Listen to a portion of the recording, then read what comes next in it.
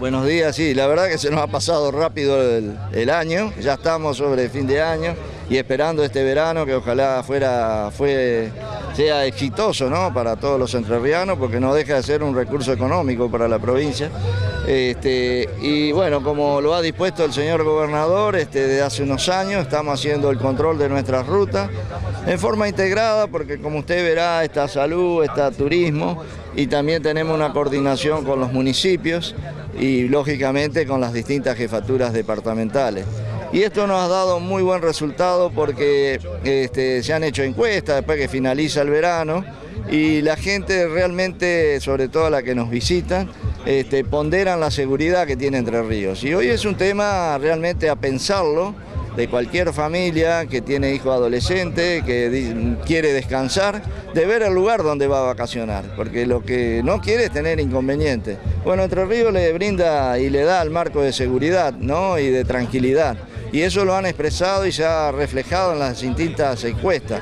Tal es así que en los últimos años nosotros no hemos reportado hechos graves en, en nuestros visitantes, así que eso es fundamental porque también se transmite boca a boca lo que significa ir Entre Ríos, ¿no? Además de la calidez de la gente, las bondades de nuestros paisajes, le damos un valor agregado al turismo como es la seguridad. Sin ninguna duda. El, funcionariado policial, este, en este caso, está para la prevención, es lo que hay que destacar y que la ciudadanía o aquellos, este, aquella gente que ocupe la autovía 14 debe acatar indicaciones porque todo se hace en pos de la seguridad del Totalmente, recién hacían mención a unos colegas suyos respecto a los radares. Los radares son necesarios. Nosotros a partir de, esta, de este sistema hemos bajado prácticamente el 51% de los accidentes y eso lo tenemos documentado, no es que es un, valor que yo lo expreso así, sino está documentado en nuestras estadísticas, este, porque el control de velocidad es fundamental, son, los, son las, este, digamos, las causas dentro de las, de las causas de, motivadas por el hombre, la velocidad.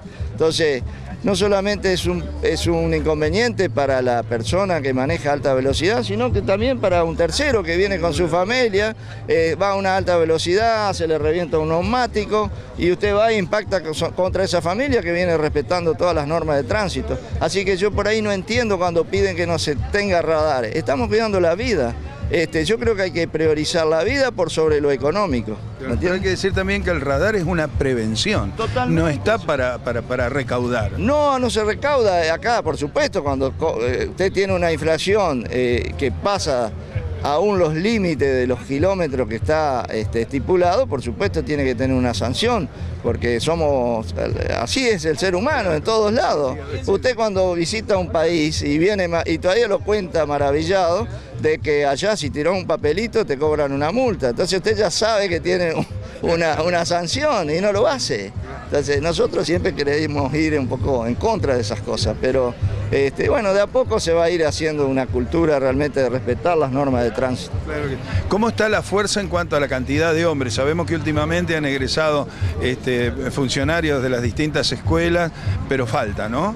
Sí, por supuesto, pero tenemos en este momento alrededor de cuatro promociones que están este, capacitándose en nuestros institutos y, bueno, la, inscripción está permanentemente abierta, así que los cinto a los eh, jóvenes este, que es una carrera interesante, este, tienen una proyección en futuro también muy importante de estudiar, una carrera universitaria por todos los convenios que nosotros tenemos firmados. Así que el gobierno en ese aspecto hizo que abra las puertas de la policía para que ingresen permanentemente efectivos. Se ha dado un poco vuelta eh, la versión que se tenía de la policía, porque ahora la policía no solo le ofrece lo que es una salida laboral, sino una capacitación tecnológica importante y una capacitación universitaria a los futuros funcionarios. Por supuesto, este, ya el agente de policía tiene que entrar con su quinto año y el oficial de policía eh, al tercer grado tiene que ser universitario como condición este, eh, exclusiva para poder continuar la carrera. Y esto no solo optimiza a la fuerza, sino que le da prestigio, digamos, para que la gente sepa cómo actuar. Sí, totalmente. Cambia todo, porque cambia hasta la, forma de tratar a, la sociedad, la forma de entender también la, cuál es el sentido que nosotros pretendemos de la seguridad, así que realmente es muy importante. La educación es fundamental, es el pilar fundamental de toda sociedad, no solamente de la policía. ¿no?